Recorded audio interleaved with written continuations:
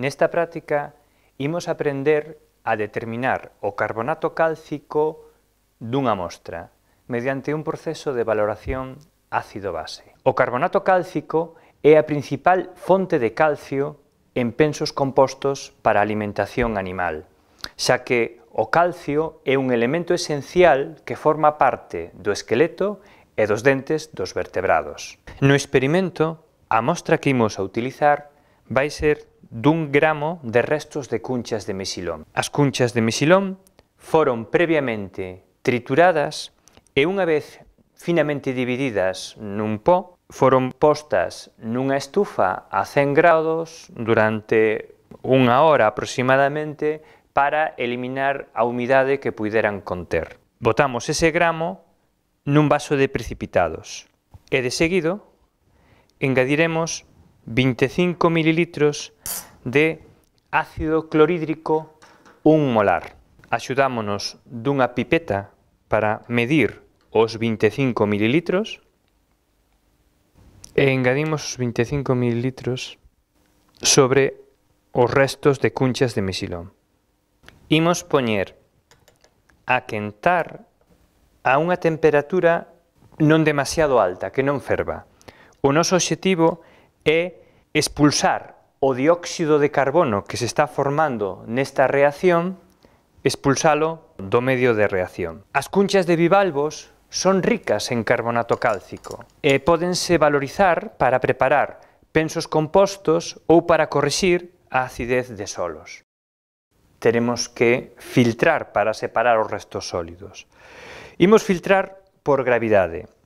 Para iso preparamos primeiramente un filtro. Collemos un anaco cadrado de papel de filtro e unimos esquina con esquina contraria. Unha segunda vez, pregamos unha segunda vez, podemos recortar para darlle a forma de filtro e vemos que hai catro láminas de papel. Tres van para un lado e unha para outro e deste xeito temos a forma cónica do filtro que colocamos no funil. E para que se adira o filtro ao funil, engadimos unhas pingas de auga e deste xeito queda adherido.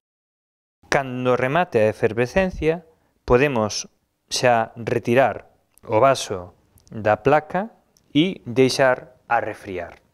Unha vez que a refríe, procedemos a realizar a filtración por gravidade para retirar o residuo sólido que non se disolveu.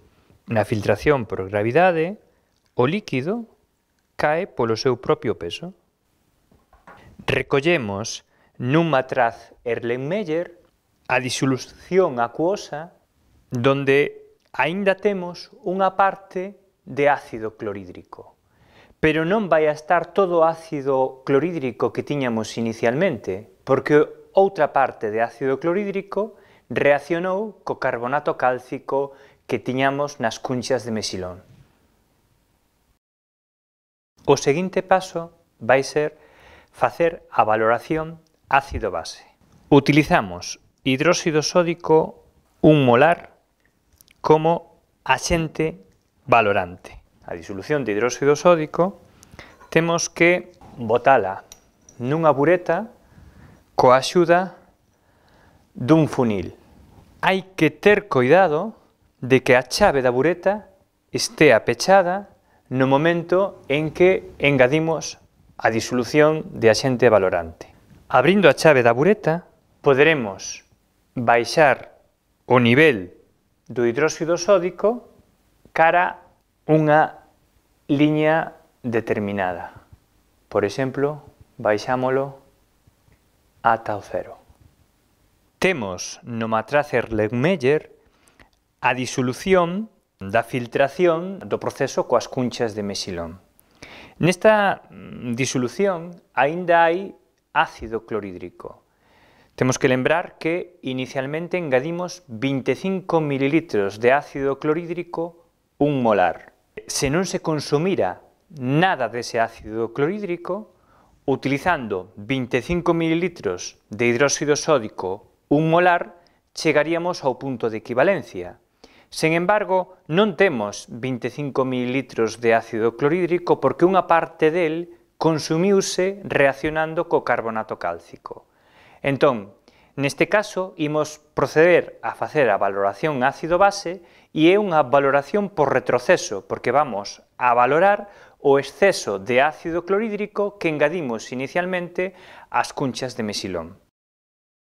Para facer a valoración necesitamos utilizar un indicador ácido base, podemos utilizar fenoptaleína. Engadimos unhas pingas de fenoptaleína no matraz. A fenoptaleína é un indicador que é incoloro e medio ácido, pero que volve color rosáceo e medio básico. A disolución, como aínda ten un exceso de ácido clorhídrico, é incolora. E ora procedemos a realizar a valoración engadindo a xente valorante pouquiño a pouco engadir o hidróxido sódico. Podemos ir removendo, vemos que donde cae a pinga de hidróxido sódico, a coloración localmente volvese rosácea, pero si movemos, si removemos e diluímos, vemos como a homoxeneizar que aínda continúa sendo incolora. Utilizamos un papel blanco de fondo para ver o contraste da formación de cor na nosa disolución ao caer o hidróxido sódico. Cando a cor é persistente, pois chegamos ao punto de valoración.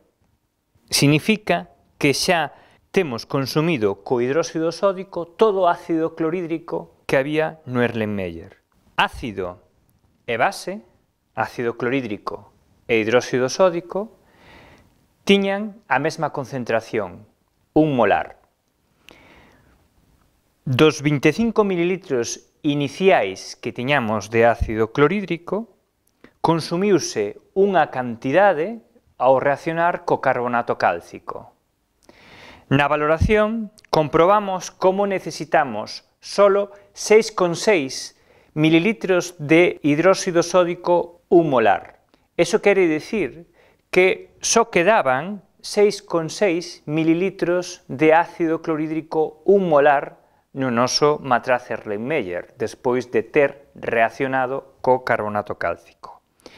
Iso significa que dos 25 mililitros iniciais de ácido clorhídrico consumíronse 25 menos 6,6, consumíronse 18,4 mililitros de ácido clorhídrico ao reaccionar co carbonato cálcico.